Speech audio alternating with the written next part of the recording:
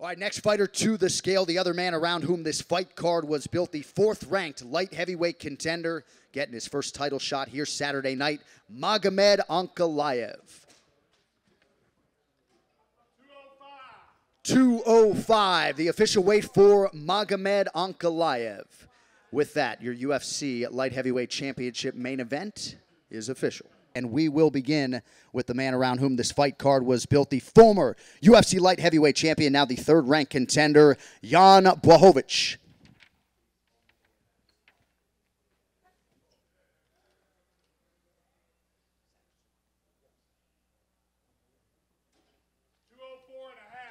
Two oh four and a half, the official weight for Jan Blachowicz.